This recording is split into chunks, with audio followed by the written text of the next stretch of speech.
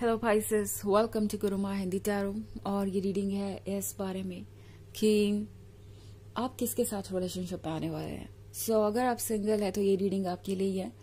अगर आप सारी लाइफ सिंगल ही थे मतलब अभी तक सिंगल ही थे तो भी आपके लिए ये रीडिंग है। और अगर आप किसी ब्रेकअप के बाद मूव ऑन करना चाहते हैं तो भी ये रीडिंग आपके लिए है। सो so, सिर्फ़ आपका स्टेटस मैटर करता है। अगर आप सिंगल है तो ये रीडिंग आपके लिए है।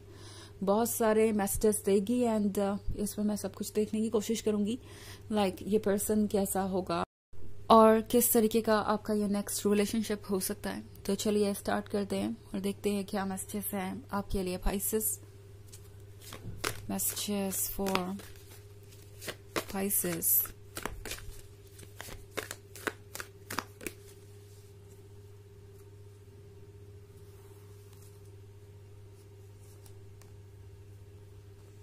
Four of Pentacles, Ace of Swords, Nine of Wands,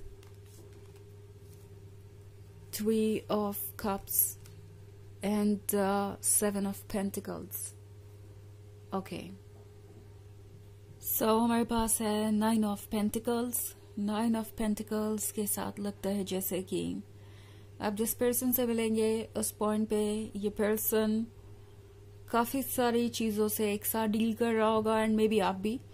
लगता है उस समय आप दोनों के लिए प्यार करने की फुर्सत ही नहीं होगी। आपको लगेगा कि रोमांस के लिए टाइम कहा है, और उस समय शायद आप रोमांस के बारे में सोच भी नहीं रहे होंगे।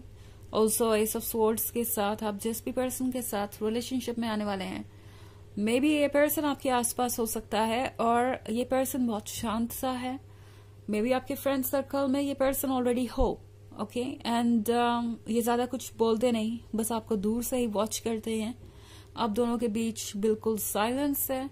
और लाइफ um, में आप दोनों ही बहुत ज़्यादा बिज़ी हैं। आप दोनों को ही लग रहा है कि पता नहीं आप uh, कहाँ जा रहे हैं और लाइफ क्या अनफोल्ड करेगी आपके लिए क्या आपके लिए है और क्या नहीं। और uh, फिर ये थ्री ऑफ़ कप्स सो कुछ एक्सपेक्ट कीजिए all of a sudden okay Pisces हो सकता है कि एक ऐसा पर्सन जो आपको लगता है कि आप में जरा भी इंटरेस्टेड नहीं है। अचानक से ही आपसे ये कहे कि वो आपसे प्यार करते हैं और आपके साथ रिलेशनशिप में आना चाहते हैं। ये बात आपको सुनने में बहुत अजीब लगेगी बिकॉज़ ऑफ़ कोर्स किसको नहीं लगेगी अगर ऐसा कुछ हुआ तो। तो ये चीज़ें um, जितना आप सोच रहे हैं उससे ज़्यादा सरप्राइजिंग होगी। Okay okay? जिस भी पर्सन के साथ आप रिलेशनशिप में आने वाले हैं वो पर्सन काफ़ी ज़्यादा इनडिसाइसिव है इस वक्त। ये पर्सन शायद किसी चीज़ का इंतज़ार कर रहा है। इस पर्सन को अभी पता नहीं है कि उन्हें आगे बढ़ना चाहिए या नहीं। उनके लाइफ में ऑलरेडी बहुत कुछ है हैंडल करने के लिए। ये पर्सन अभी अपने आइडियाज़ को लेके क्लियर नहीं है पाइसेस और धीरे धीरे लगता है कि चीज़ें बदलेगी। ऑल्सो यहाँ पे फोर ऑफ़ पेंटिकल्स है तो जब ये पर्सन अपने प्यार को ज़ाहिर करना चाहेगा तब हो सकता है कि ये अपने शब्दों से ज़्यादा अपनी बॉडी लैंग्वेज और अपने गिफ्ट से इन, इन चीज़ों को ज़ाहिर करें। थोड़ा सा क्रिएटिव और इंट्यूटिव ये पर्सन हो सकता है। ये पर्सन ज़्यादा कंफर्टेबल नहीं है वर्ड्स के साथ तो मोस्ट पॉसिबल ये आपको कुछ ऐसे गिफ्ट दे सकते हैं जो इनकी फीलिंग्स को ज़ाहिर करें। या अपनी बॉडी लैंग्वेज से ये पर्सन आपको शो करेगा जैसे वो आप में इंटरेस्टेड है।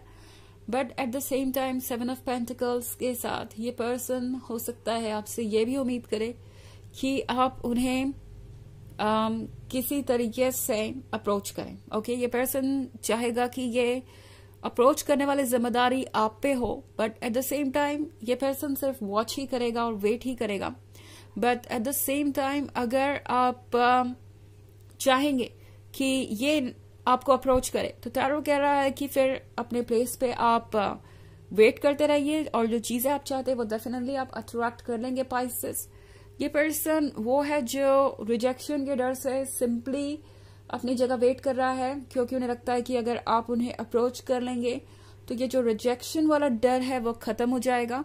सो so ये सब कुछ हो सकता है जब आप इस पर्सन से मिलेंगे और शुरुआत में आपको यह रिलेशनशिप ऐसा नहीं लगेगा कि वर्क कर सकता है या एक पॉसिबिलिटी भी है बट लगता है कि धीरे धीरे आप एक रिलेशनशिप में आ ही जाएँगे और ये जो एस ऑफ़ सोर्ड्स है, ये ज़रूर रिमूव हो जाएगा। ये जो साइलेंस है, ये जो दूरी है, वो वक्त के साथ ज़रूर रिमूव हो जाएगी। हालाँकि ये एक जनरल रीडिंग है तो ये सबसे रेजोनेट नहीं करेगी। एनर्जी रिवर्स हो सकती है अगर आप क्रॉस वॉचर हैं। इसके अलावा, अगर आप पिछले वीक की रीडिंग या ईयरली रीडिंग देखना चाहें 2024 के फ़र्स्ट क्वार्टर की तो उसका भी लिंक आपको डिस्क्रिप्शन बॉक्स में मिल जाएगा हमेशा की तरह। चलिए आगे बढ़ते हैं और देखते हैं और क्या मैसेजेस हैं आपके लिए। Pisces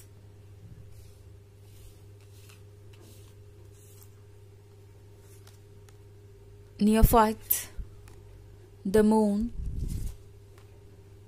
ten of pentacles fortitude and uh, seven of pentacles.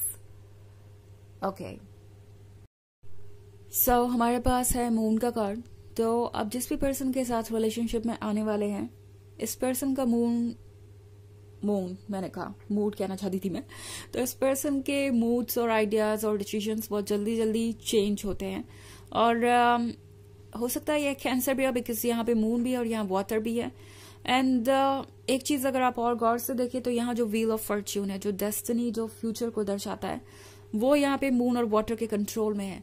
तो एक तरीके से ये वो पर्सन है जो आज तक सिर्फ़ अपने मन को सुनता आया है और अपने इमोशंस के कारण इन्होंने बहुत सारे ऐसे फैसले किए हैं जो इन्हें लगता था कि इनके लिए सही होंगे। बट फ्यूचर में चीज़ें रिवर्स हो गई फ्यूचर में उन चीज़ों का अच्छा असर नहीं हुआ और वो फैसले सही नहीं निकले। तो ये वो पर्सन है जो काफ़ी इंडसाइसिव और इमेच्योर हो सकता है बिकॉज़ यहाँ पे फिर नियोफाइट का भी कार्ड है। तो ये पर्सन काफ़ी ज़्यादा चाइल्डिश हो सकता है और um, ये एक परेशानी का कारण बन सकता है आप में से बहुत सारे लोगों के लिए। But at the same time एक बहुत um, अच्छी चीज़ मैं यहाँ देख रही हूँ कि ये पर्सन जब भी अपने प्यार को जताना शुरू करेगा या अपनी फीलिंग्स को जताना शुरू करेगा तो उनसे अच्छा कोई और नहीं होगा। उनसे ज़्यादा इंटरेस्टिंग और कोई नहीं होगा। उनकी जो डेप्थ है, वो आपको सरप्राइज़ कर देगी। ऑल्सो हमारे पास है टेन ऑफ़ पेंटिकल्स तो टेन ऑफ़ पेंटिकल्स के साथ ये पर्सन चाहे जितना भी इमेच्योर हो, जितना भी चाइल्डिश हो, जितना भी मूडी हो, ये पर्सन काफ़ी फोकस्ड है अपने करियर पे। तो आप जिसके साथ भी रिलेशनशिप में आने वाले हैं, ये पर्सन फ्यूचर को लेके सीरियस है आगे आने वाले रिस्पॉन्सिबिलिटीज और मनी मैनेजमेंट में काफ़ी इंटरेस्टेड हो सकता है। सो so पॉसिबली ये पर्सन um, किसी ऐसे वर्क में इन्वॉल्व हो सकता है जहाँ पैसा मायने रखता है मे बी बैंकिंग या कुछ भी या फिर यह सिंपली हो सकता है जिस भी करियर में वो होंगे उसकी तरफ़ डेडिकेशन के बारे में। ये पर्सन फॉर्टिट्यूड के साथ बहुत डिटरमेंट है अपने फ्यूचर को लेके और काफ़ी प्लानिंग भी करते हैं अपने फ्यूचर को लेके। बट आप जिस पर्सन के साथ रिलेशनशिप में आने वाले हैं, उसके साथ एक और प्रॉब्लम हो सकती है। वो ये कि ये पर्सन ना सिर्फ़ फ्यूचर के बारे में सोचता है बट पास्ट के बारे में कुछ ज़्यादा ही सोचते हैं ओके okay? पुराने एक्सपीरियंसेस पुरानी चीज़ें इनको थोड़ा सा इनसिक्योर बना रही है और अनफॉर्चुनेटली ये पर्सन उन एक्सपीरियंसेस को कैरी कर रहा है।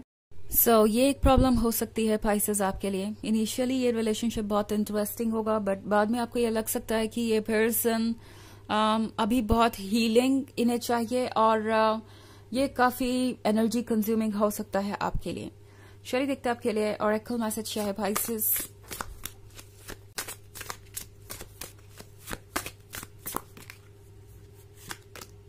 music your connection to music is healing for yourself and others तो ये कार्ड आपसे कह रहा है कि आपके लिए म्यूज़िक हीलिंग होगा और इस पर्सन के लिए भी। आई डोंट नो इसका मतलब क्या है? ये भी हो सकता है कि ये पर्सन कोई म्यूजिशियन हो या म्यूज़िक में इंटरेस्टेड हो हो सकता है कि आप इस पर्सन से रिलेट कर पाए, आपको ये पर्सन अट्रैक्ट करे अपनी पर्सनालिटी और अपने इस क्रिएटिविटी की वजह से।